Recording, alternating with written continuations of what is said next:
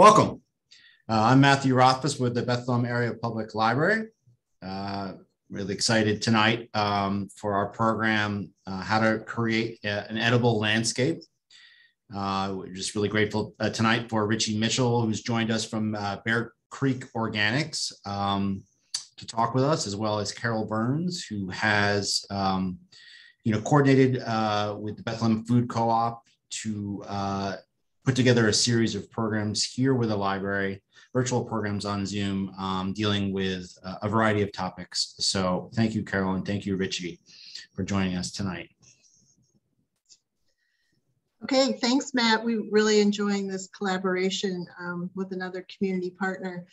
For those of you not familiar with the Bethlehem Food Co-op, we're a group of neighbors who are uh, working to build to bring a full service, community owned, everyone welcome grocery store to a location at 250 East Broad Street in Bethlehem. So point of reference, it's near the corner of Broad and Linden across the street from Connell's funeral home. Right now it's an empty lot and uh, we hope that in the next few weeks we'll start seeing some activity there. The developers are building a four story building and um, we will be leasing the ground floor. It will be built as a co-op for us specifically. And as I said, it will be a store that's open to everyone to shop at, but will be open, but will be owned by our members. So um, as part of our mission, it's um, we are very supportive of our local producers and our, our goal is to help connect the local producers with our local um, our local consumers. And we're very focused on um, good environmental practices, sustainable, everything to bring good, healthy food to our community. So that's where uh, Richie fits in. And I'm going to stop talking and turn it over to Richie Mitchell from Bear Creek Organics. All right. Hey, how's everybody doing? I'm so glad to be here. It's an honor and just want to thank uh, the Bethlehem Food Co-op, Carol and Matthew, and all of you for just being here. It's really um, nice uh, that we're coming together as a community uh, around food. That's that's what it's all about. And I guess I would like to start off by just uh, introducing myself and my company. Um, I'm the owner of Bear Creek Organics. We're located in Whitehaven, Pennsylvania, so we're about an hour north of you guys and we have an edible landscaping company. And I don't if you guys are unfamiliar with that term, basically the concept of doing landscaping in your yard or your um, community park or in your school yard um, and replacing the existing landscape or adding a new landscaping feature that is edible. So that can be fruit trees, berry bushes, it can be vegetable gardens, flowers, rain gardens. There's a lot of different um, things you can do. So uh, Bear Creek Organics is an edible landscaping company. We do consult, design, build, and um, manage of uh, edible landscapes, also known as foodscaping. And we do a lot of education around that. And we also have a farm that is quite new and uh, a tree nursery with fruit trees and berry bushes and native plants. So having said that, this talk is just a, a quick introduction into what's possible with edible landscaping. And it goes through the beginning, uh, how to begin to start thinking about your edible landscape. And I have a bunch of examples. And depending on how fast we can get through that, then I'll I also have a um, second part where I can try to get into more of the technical details. But I think what's most important now is just to understand um, what's possible um, and not be afraid of um, deer and pests and failure because the results of your efforts are amazing. The um, the the investment of money and your and time literally grows in value and feeds your family with healthy organic food. So I think it's a it's an amazing concept to consider if you have space in your front or backyard or if you know somebody that does to um, even if you have a tiny area, there's lots of possibilities. So don't be intimidated by any of the larger examples because all of the stuff is scalable. And what's important is that you start taking control of your food sovereignty and start um, having access to um, ripe fruit and um, you know uh, chemical free uh, food and know where your food comes from and be able to pick right from your backyard is um, an amazing step that you can take so if you look at the top of the slide here i just said your family your land your life. And that's, that's what it,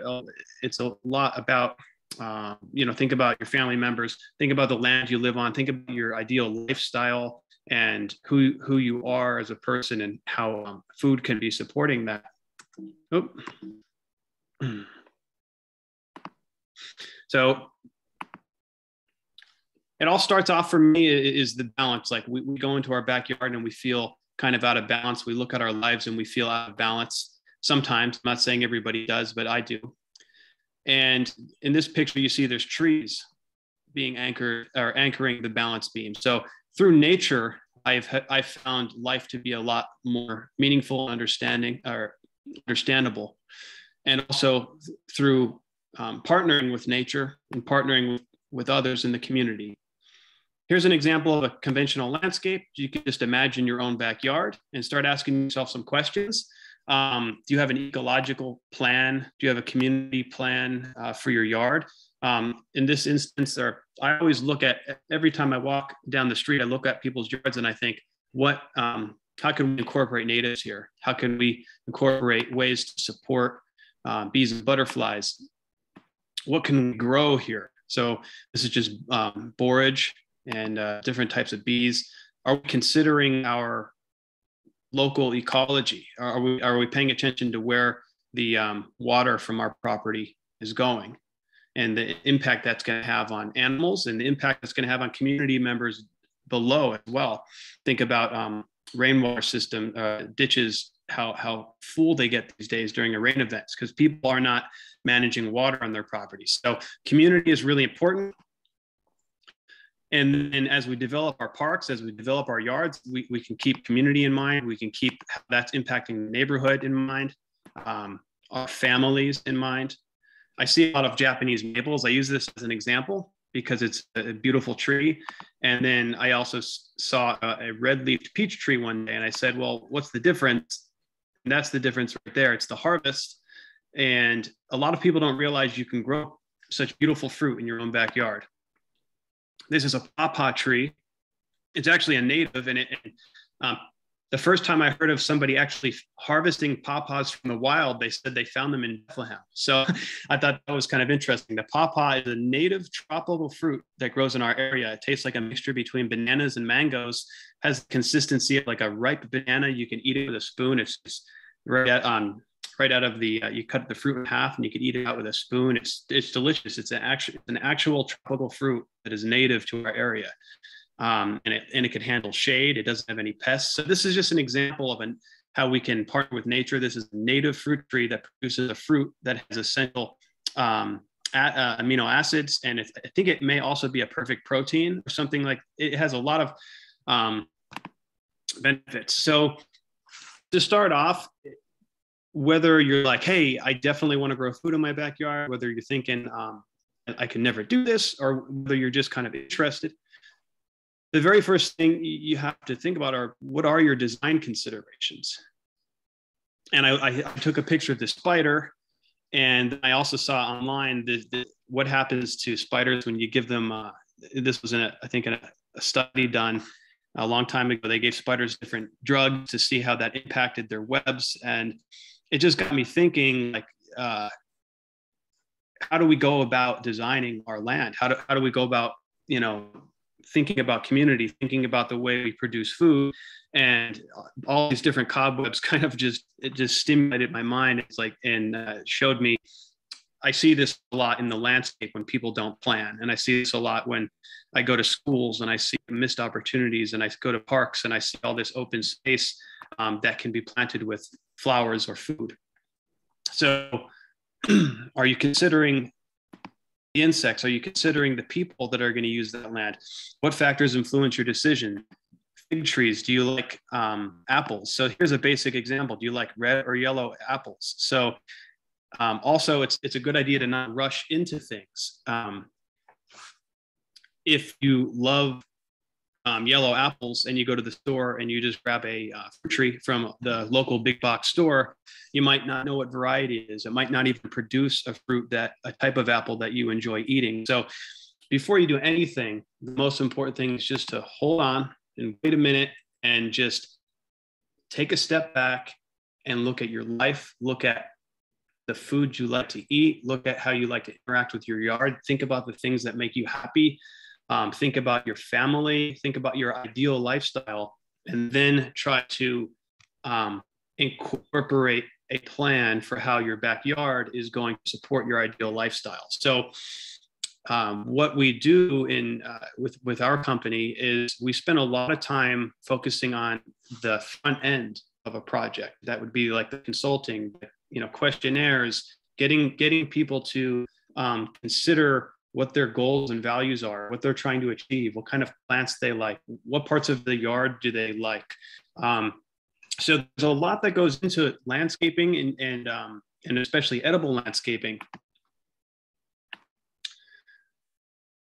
So here was a, a little vegetable garden. This, this client um, this might just look like a simple garden bed, but one of their main goals was they needed to be able to, uh, they wanted the beds to be higher so they didn't hurt their back and they needed a wide pathway so that they can get through with a wheelbarrow. And the funny part was when we, when we first measured it out, we thought, um, we thought everything was set and then we went to get the wheelbarrow through and the wheelbarrow didn't fit. So really um, basic things that you might not consider when you're in a rush. You think, oh my goodness, uh, spring is coming. Um, I just have to start landscaping. you might be missing, you don't want to make a type one error. And that's that's where I always encourage people to start. A type one error is essentially a decision that once you make it, it's a it's really expensive to correct, or you might not notice the effects of that wrong decision until 10 years later. You put a tree in the wrong spot, it finally starts producing apples, and you realize it's um, that's the only place where the kids can play soccer.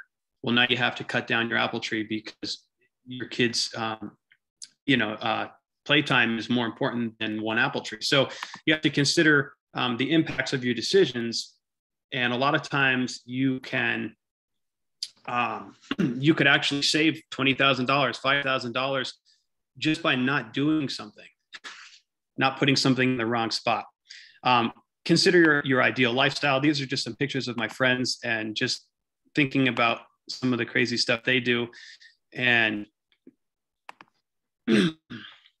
you have to consider how you um, let me just bet well if you i'm not going to back up uh, in the slide here but um, you have to consider how you live and how often you can attend to your garden. Um, a lot of these things need to be considered who's going who is going to be interacting with the land. Don't just consider yourself consider your pets your family.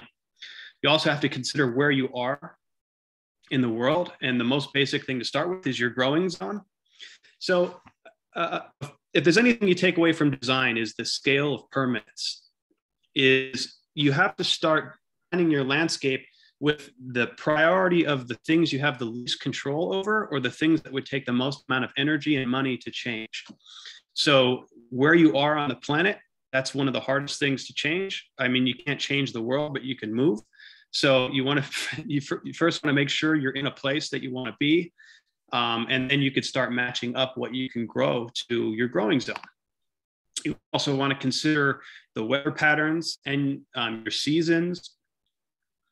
And there's a lot of other things you could start considering as you go down the scale of permanence, as you keep working your way down to um, from the geography to the climate and geography, start considering buildings. You start thinking about water. Water is way up on the list, way before you plant a plant way before you design a garden, you want to consider water management. You have to have water management solved before you start anything. You have to consider the shade that buildings and large trees are going to produce. You have to consider um, these larger concepts that that you have less control over. So you want to make sure you're designing creatively with them in mind. A tree or a plant is the very last thing on the scale of permanence. So um, fencing is very low down on the list. You don't want to put a fence in as your first um, decision.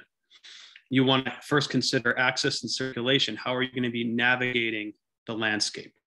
So short and term, uh, I have here short and long term results. So, how could we design the landscape not just for the big picture, but for the short and medium um, picture? So, there's certain things you can do to give you quick reward, like certain berry plants, certain vegetable plants, or um, there's medium, uh, like a dwarf fruit tree.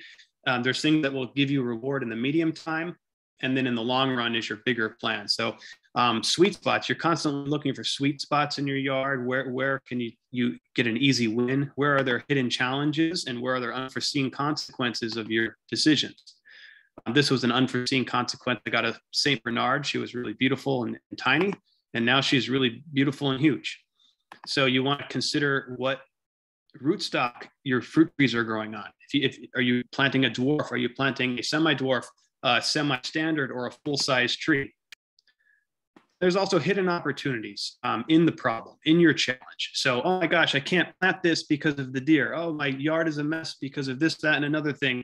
I'll never be able to grow my own food the problem is the solution. Normally, in, in the face of a good design process, a problem actually gives you a better result in the end than if you didn't have the problem to start with. So it creates, it forces you to get more creative and think about more, um, more of your, what you're working with.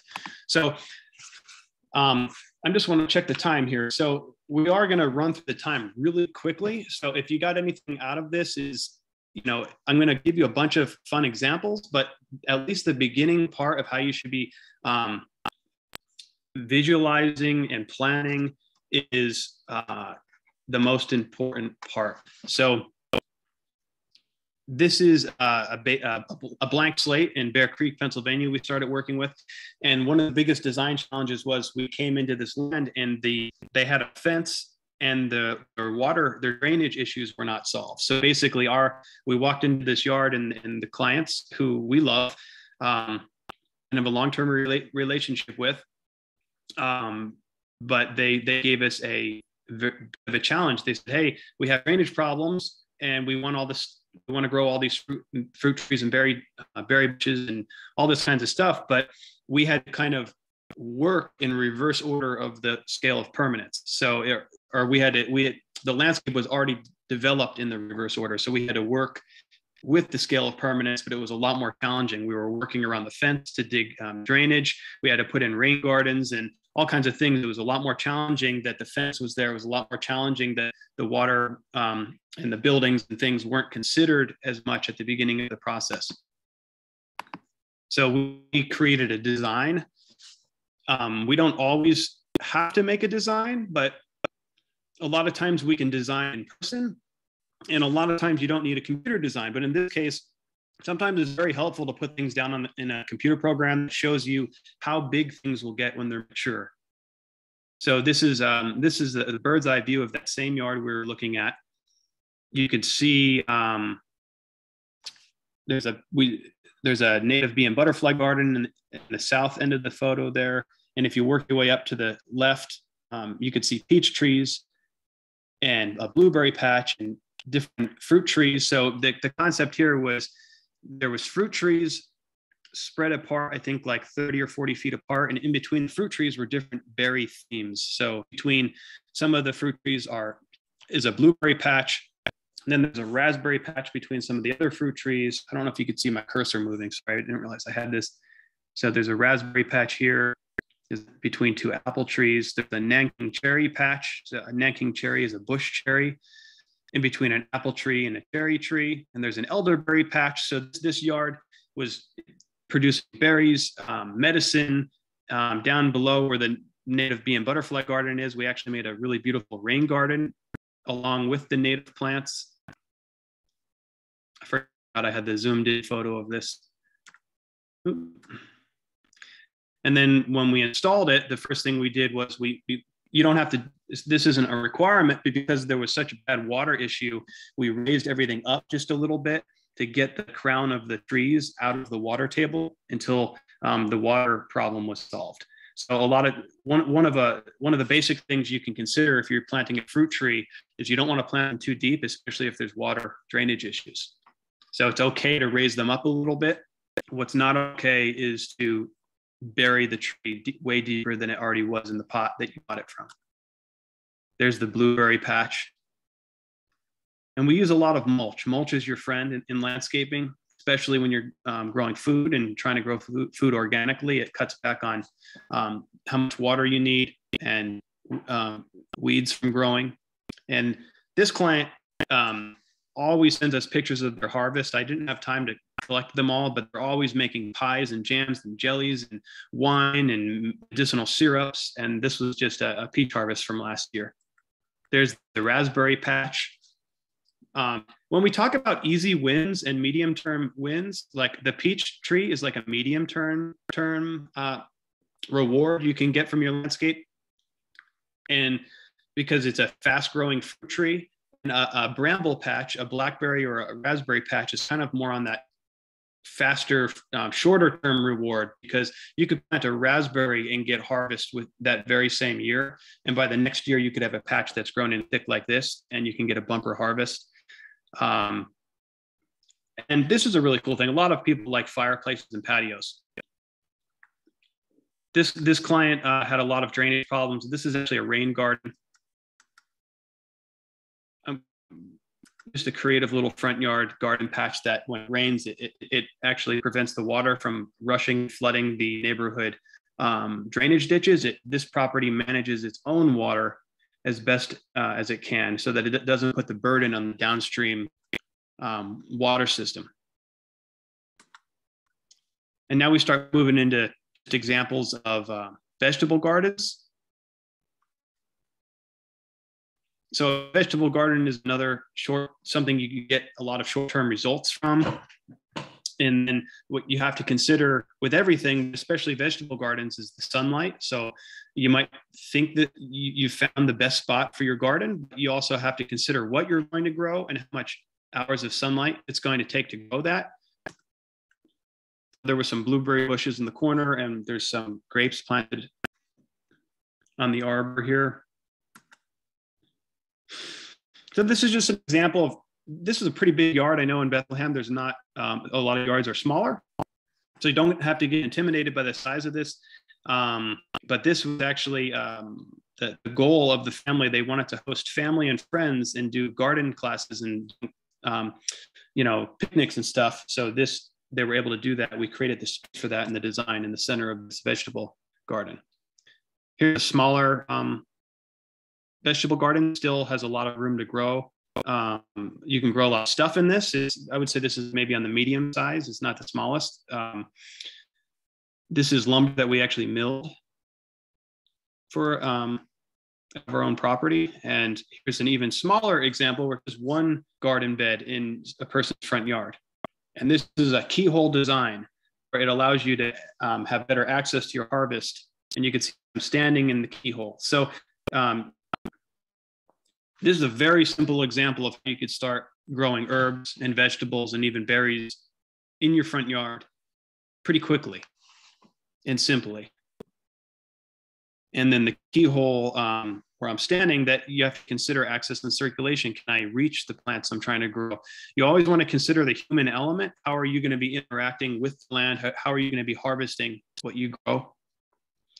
And this is a bigger, um, more elaborate example of a garden bed. This is uh, where a um, entire side of their yard was converted into a vegetable garden. So this is kind of like the maxed out example of a deer proof, groundhog proof, critter proof, um, eight foot tall fence. Uh, there's fence buried in the ground. There's electric fencing. Um, so nothing can climb up. So this is the extreme example of a garden, uh, backyard garden. And you can start moving into edible schoolyards. We do edible schoolyards just to kind of give some inspiration. This is the Graham Academy in Kingston, Pennsylvania. And we recently replaced all of the wood garden beds with cinder block because during the pandemic, the wood prices got so high, cinder blocks were cheaper and they don't rot. So it's a it's an idea to, to consider your building material. The last couple of some of the last examples were cedar, and some were actually just white pine. So an untreated white pine or hemlock will rot quicker.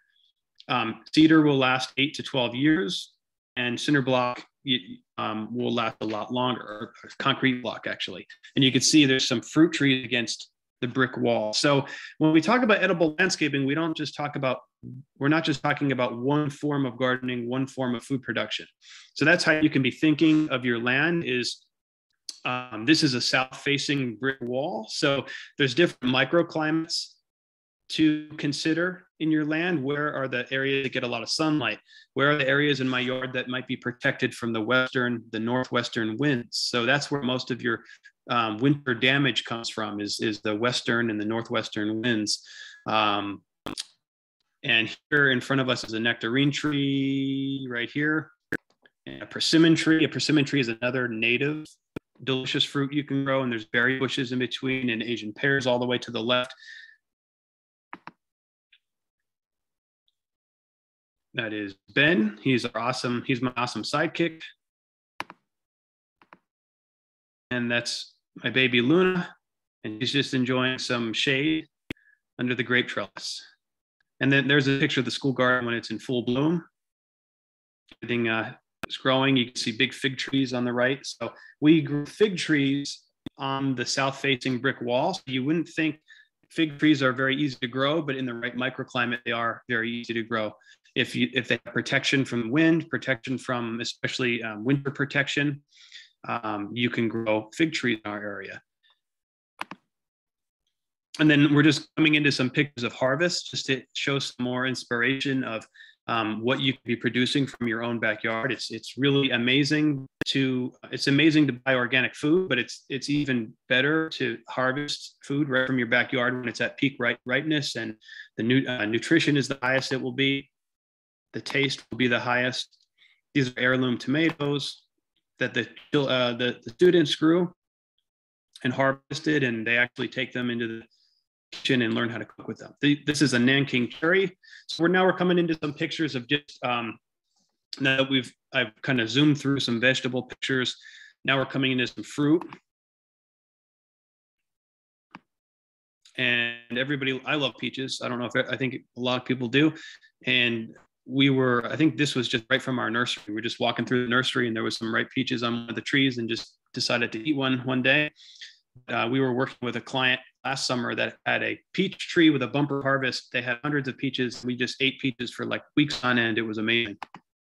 Oh yeah, this is the client right here. So um, the peach tree i think is way off in the distance. So this client came to us with some uh, with some mature trees that we we do pruning holistic orchard maintenance, which, uh, which involves spraying with certain organic um, applications to increase the health of the trees.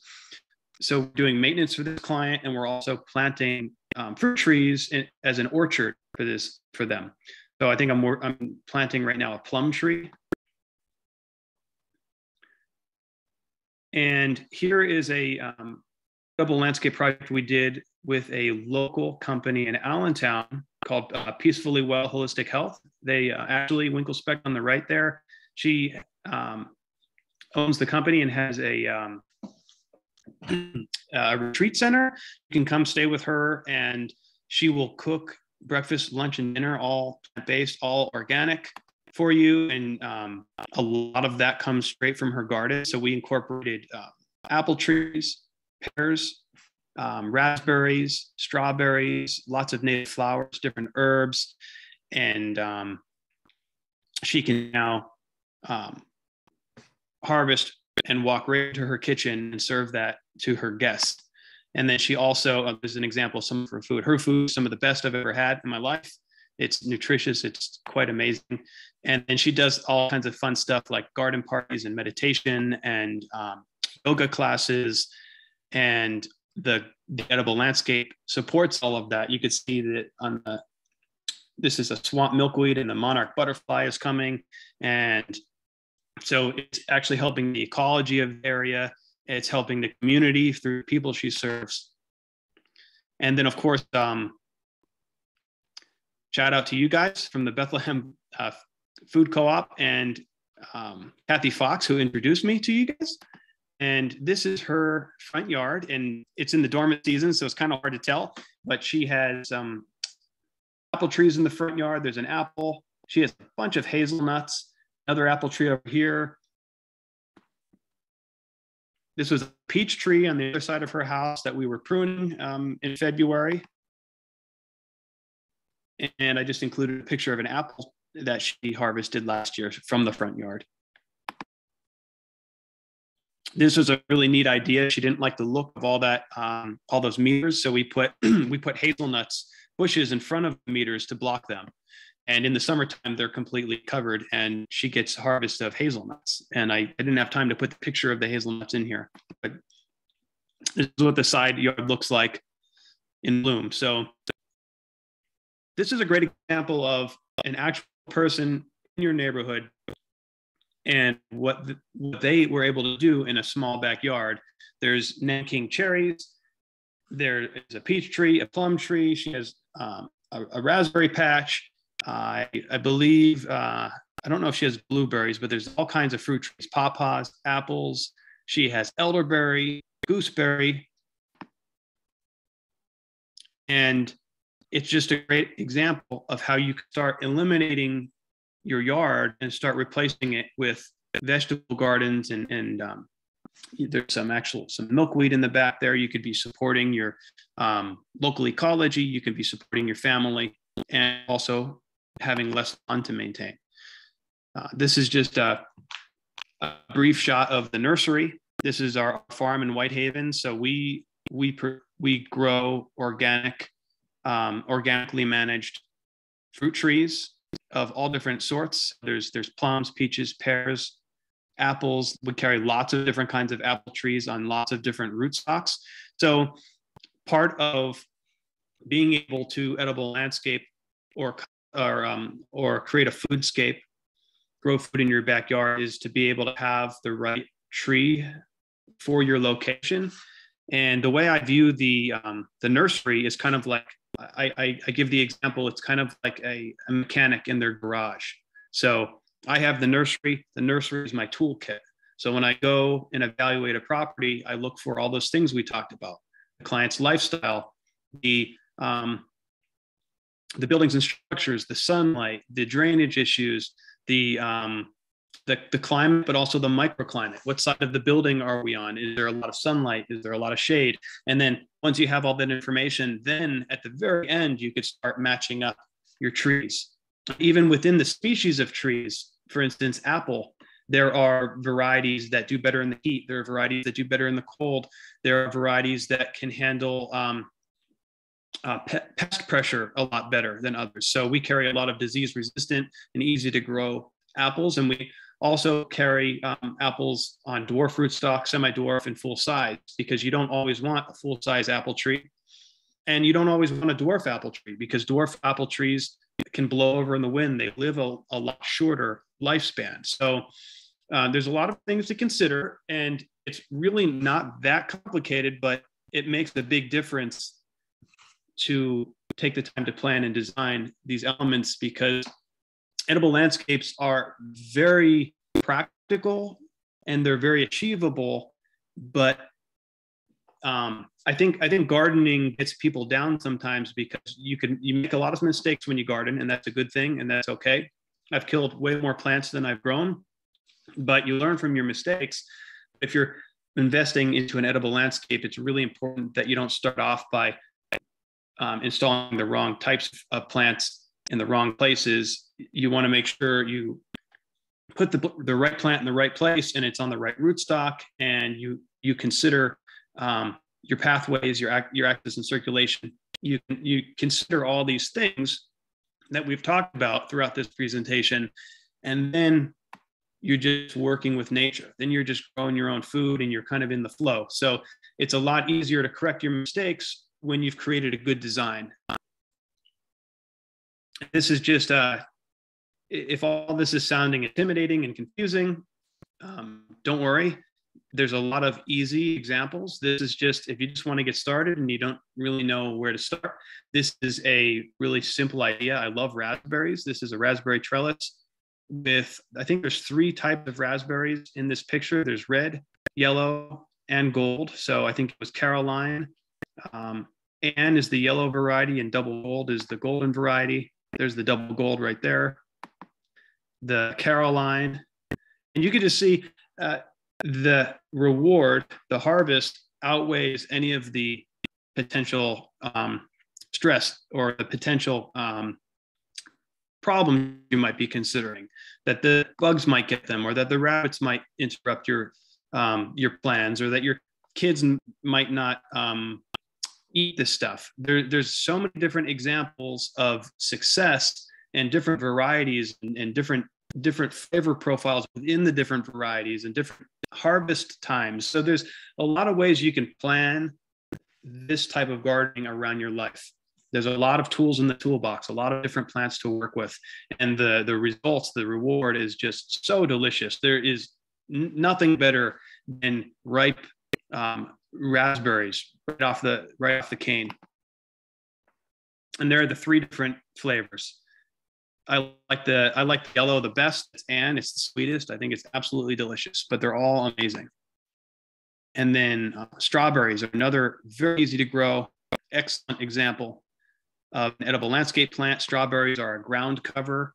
So you can actually grow strawberries underneath your fruit trees. And one thing we're not going to have time to talk about in this presentation, but as you plant your fruit trees, you can you can you can plant miniature ecosystems just with one fruit tree. It's called a fruit tree guild, and that's the concept of planting a fruit tree, but then planting other species, other types of plants around that tree to support the fruit tree and also just to get multiple harvests from um, from one area. And when I talk to my clients, that seems to be something that they never considered and that they like the best. And the strawberry is the perfect example of a plant that can pair with your fruit tree. You can have an apple tree growing tall up into the canopy, and you can have a strawberry growing low as the ground cover. So that's those are the two uh, that's just two extremes. They don't compete with each other. The strawberry doesn't take up any more room that the tree needs, and it just hangs out and covers the ground and actually helps the tree um, not have to deal with so many weeds. So um, you have an edible ground cover supporting the tree. And then you don't just have an apple harvest, you have an apple harvest and a strawberry harvest. And then in between that, you could fill in the gaps. You can put the shrub layers. You can put berries around your fruit trees. You can put um, an herbaceous layer that would be your native flowers. And you can start developing your edible landscape as an ecosystem, as, as, as a, as um, a system of plants that gives you multiple staggered harvests and that also work together and they don't compete with each other. Um, so you can be farming vertically instead of just on the space that you have. So if you don't have a lot, a lot of space, there are a lot of options to get a lot of harvest. And this is a landscape that was a, a, bit devastated when we came to it, and we started adding vegetable gardens, planting fruit. Uh, they had existing fruit trees. We put a bunch of native flowers around, and excuse me. and they had a major water problem and where we talk about the problem being the solution we created a gorgeous pond that actually captures the runoff uses that runoff to recharge itself. A lot of a lot of ornamental ponds have to be constantly filled up with a hose. And i'm not saying that we never have to do that with this pond but every time it rains it, the, the whole pond system gets cleaned out and it also stops um, during a massive rain event, it stops the water from flooding into the house and flooding the basement. It stops the erosion on the property. So there's a lot of creative ways um, where you see all of those flowers up here. These are all native flowers. A lot of them are medicinal, echinacea, Joe Pye weed. Um, there's Rudbeckia, and that's actually a swale that also harvests water. And, and along that swale, we grow blueberries because blueberries love water. So we grow blueberries along that swale flowers, strawberries, and the swale captures water and puts it into the pond system. And there's Jim. He's a he's a comedian, and he used to be a college professor and a priest at one point in his life. And a lot of this is a, a uh, we co-designed this with him, and he a lot of this is his vision, and he goes out there every single day and gets enjoyment from his land. And, and he's so happy and so thrilled to be um, watching his pond and he takes photographs of everything and his wife beth is thrilled by the harvest and she's really into medicinal. So she's always out there collecting um, berries and flowers. And we actually replaced a bunch of their lawn with a meadow. So this is a, a native meadow. It's another way you can, if you're sick of mowing your lawn. And then here's some close-ups of the native flowers growing on the property. And then just another example, here's a community park. And this is just the initial quick design concept we came up with. They wanted to plant three trees. Um, and we said, well, why not plant three fruit trees? And then we, we are a lot bigger now. And these are the pictures I was able to find for this presentation. But each fruit, each one of these fruit trees has native flowers around it. And it um, it's just really cool. It's a really cool feature to put in a park. It's going to create shade, and the kids will be able to harvest the fruit. And then one of the challenges that I saw here is just the the, the support, the community buy-in. It's if you're going to do something like this in a community, you have to make sure that that the people involved are committed to it and that they understand it. And that's that's okay. A lot of people are not familiar with how to grow their own food. So it's kind of a double edged sword. It's a great opportunity to teach people how to grow their own food. And it's also a risk because um, you really have to get that community buy in before you um, do a community project.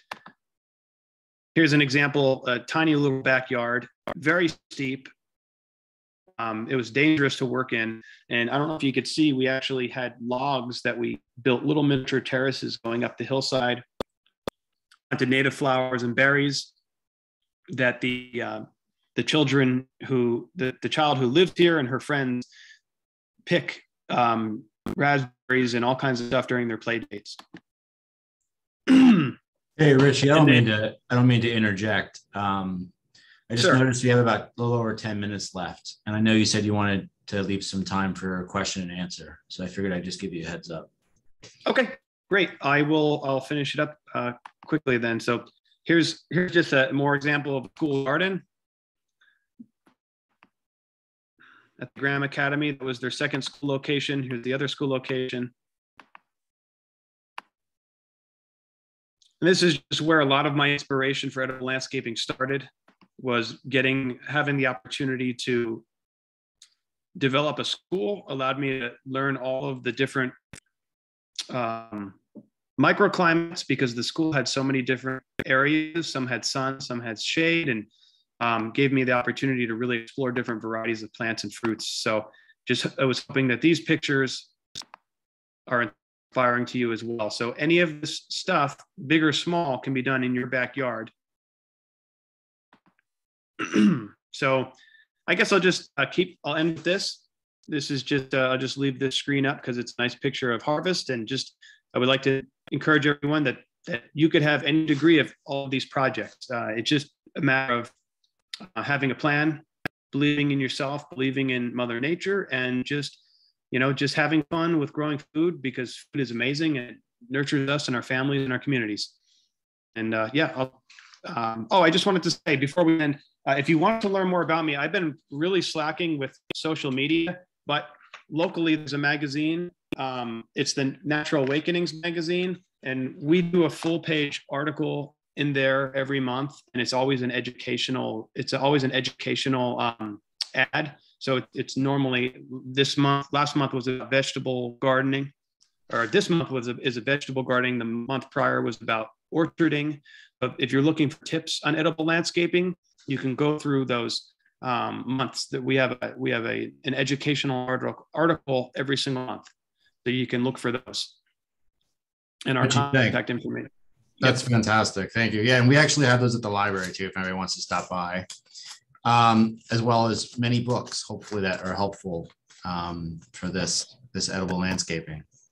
So what I'm going to do is I'm going to uh, unmute everybody. You, you're welcome to ask questions. You can also ask them in the chat um, and I can myself or Carol can or uh, Richie can uh, can read them.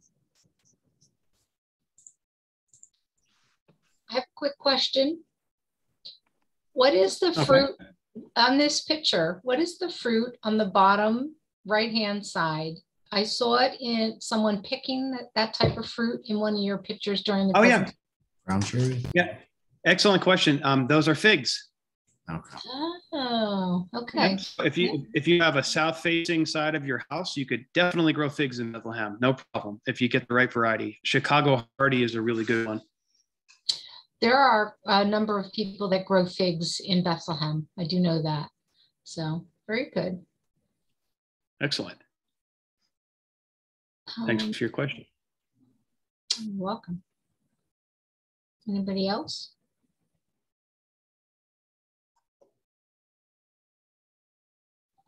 Hmm, Oh, here's a question from Denise. Is there anything that can be planted where a plum tree used to be? We had a wonderful plum tree. And, oh, It got black rot. we, We had to remove it. it, and got black knot, we had to remove it. It was next to a pear and a cherry that were not affected. And she also wants to know if you go as far out as Alburtis. Um, yeah, yeah, we do. Um, so we travel um, pretty much anywhere in the Lehigh Valley, and um, really quickly, uh, if anyone's wondering how how to um, how to work with us, the easiest thing to do is go to bearcreekorganics.com and just fill out the contact um, information at the bottom. And that emails me directly. It's the simplest way to get in touch. And from there, we'll schedule a consultation. And we we service the whole, um, pretty much travel um, at least an hour. So uh, you're if you're within range, um, we're, we're very accommodating with travel because we understand not everybody is edible landscaper. Not everybody's interested in this kind of stuff. So um, we like to um, we're definitely willing to travel to make sure that this work gets spread through our area. So, to answer your question, black knot's a very common uh, disease for plums. It's it's devastating. It will kill them, and it's very contagious. Uh, first thing I could say is if you have it, you want to cut it down, especially before um, springtime begins, because that's when the black knot will um, spread the disease. So you even if even if you have a plum tree, you don't want to kill it completely. You got to get those branches off that um, uh, that you see on your on your tree. So I saw Kathy had a plum tree, and one tiny branch had a little side black knot. We just cut that back as far as we were able to. And you want to burn that or immediately get it in, into the trash. but if you have a whole tree that was killed by black knot, um, black knot doesn't really affect anything I've noticed other than plums. So, um, so I, I would say you could probably put anything in its place other than a plum that is susceptible to black knot. And there are there are some plum varieties that are supposed to be resistant to black knot, and we're experimenting with a few. And um, uh, I would have to know more about your, your site, but if you have, let's see, did you say you have some pears already growing there? A pear and a Pear and cherry tree? cherry. Um, I can take think- myself off mute. That's fine. Yeah, Um, so good. we did try for, oh, probably about five or six years to keep up with the black knot. And last spring, it was so wet here that the black knot just went everywhere. So we actually had to give up on it this year and we took it down. Um, but the cherry tree, still being a stone fruit, I was surprised didn't get it. So we were just curious as to see if anything else would survive there or if we just need to just cut our losses and leave the, the pear and the cherry and see what happens. Yeah, I mean, I mean, if you want to be really safe, grow something native. Um, but yeah, I, I have to do more research on black knot. I don't, I don't know Mhm. everything uh, about um, plum trees and all the diseases. I've only seen black knot on plums, and I've only, you know, I've only, um, uh, excuse me, stone fruit are typically harder to grow. So peaches and cherries can get other kinds of diseases that um, everything everything requires a certain degree of spraying um, not, or let me say not everything but some of these harder to grow fruits stone fruits particular can really benefit from a holistic orchard management spray schedule and it's not chemical it's nothing toxic but it's it's a it's a mixture of different um, beneficial oils and plant nutrients and beneficial microbes that you spray at key times of the year that um, help the tree cope with disease and help ward off disease and infection. So apples So you could replace it with pretty much anything. It's just whatever fruit tree you replace it with may come along with its own weaknesses, its own problems. So apples are susceptible to fire blight.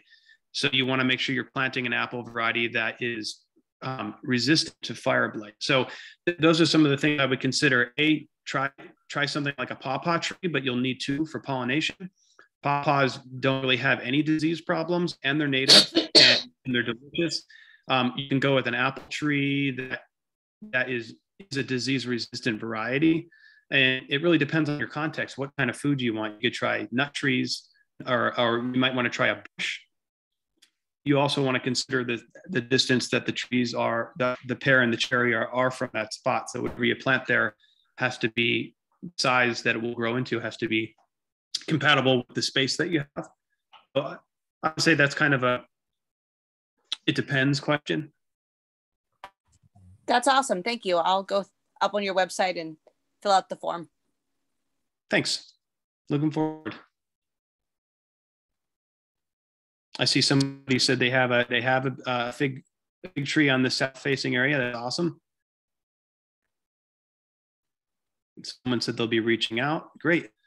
Yeah. So the the the the best thing to do to get started with us is to schedule a consultation. And even if you don't want to schedule a consultation, you could, e- you could email us or you could go to the website, fill out the contact form, and we'll send you a questionnaire that's kind of how we start the process. So the questionnaire allows us to understand your, your, your needs and your goals and your visions.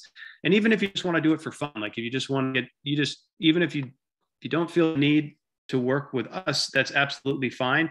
Um, the questionnaire is actually interesting where you can, it came from a, a designer, a, a, book about um, designing edible forest gardens. So it's actually more of a brainstorm questionnaire. The questionnaire will help you better understand and better evaluate your own goals and your own needs uh, a little bit. But there's a lot of resources you, you could check out as well on the internet um, for edible landscaping. So if you're if you're interested in this stuff, I think one of the books that got me started was um, Edible Landscaping with a Permaculture Twist by Michael Judd. That just is a lot of nice, inspiring pictures.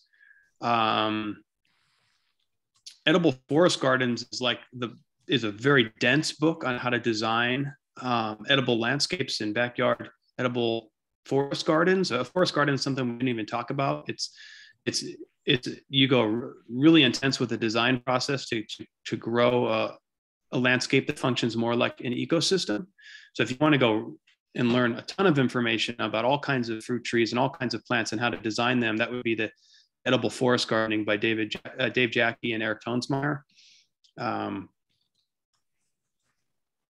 I just wanted to throw that out there. And, and if and if you are, are curious to just get started with us, fill out that contact contact us form at the website, and then we'll get you started with a with a consultation. Oh yeah, a lot of people just benefit from a consultation. So sometimes you just might need help getting a second eye on your site and avoiding some problems that you may not have seen and understanding some of the advantages that your land may have to offer. So I just I look forward to helping anybody that wants that wants to be involved and um, I'm also looking for opportunities to, to just um, work with the community. So if anyone just wants to, has any ideas on how to bring more local food production to the area, to get students involved, to get um, community involved with more local food production, to uh, tighten up our or uh, strengthen our local supply chain and to to build uh, community around homegrown food. I think that would be really interested. So one one thing that I'm really interested in, and I tend not to have a lot of time for social media and for promotion and stuff like that. So if if anyone just knows somebody that knows someone that may be interested in this kind of work, um, whether that's you have a friend, a family, a parent that might benefit from this type of uh, this type of landscaping, send them my way or if you know somebody that might be a good partner or might be interested in a community project, I'm, I'm open to all uh, basically expanding the network of, um, of this um, foodscaping, this edible landscaping movement. It's something that I'm really passionate about. And I think, I think it's, there's just so much space out there to grow food and a lot of children, a lot of families don't know how to grow their own food. And I think that's one of the, that's one of the greatest things we can do just with all of the um, the commodity raising prices and commodities and all the tension globally is we could just look inward ourselves, our families, at our friends, our communities, and strengthen from within and empower people through um, the education and the ability to, to produce uh, nutritious food and feed, feed ourselves. So um, I hope this was inspiring to everybody. And if you have any questions, feel free to, you could email me at Bear Creek Organics uh, at gmail.com, or it's, it's, it's also just easier to go through the website. Thank you so much, Richie. That was Great, great. So as a reminder, all the, um, and Matt mentioned this, we have a recording of this and in fact, all the other uh, sessions that we did earlier um, over the winter and they're all on the um, library's YouTube channel. So some rainy day, get a beverage and, and come back and revisit these uh, very informational and informative presentations. So thanks so Oh, much, uh, Richie. I, I wanted Thanks, to Richie. something that something that just popped in um, really quickly.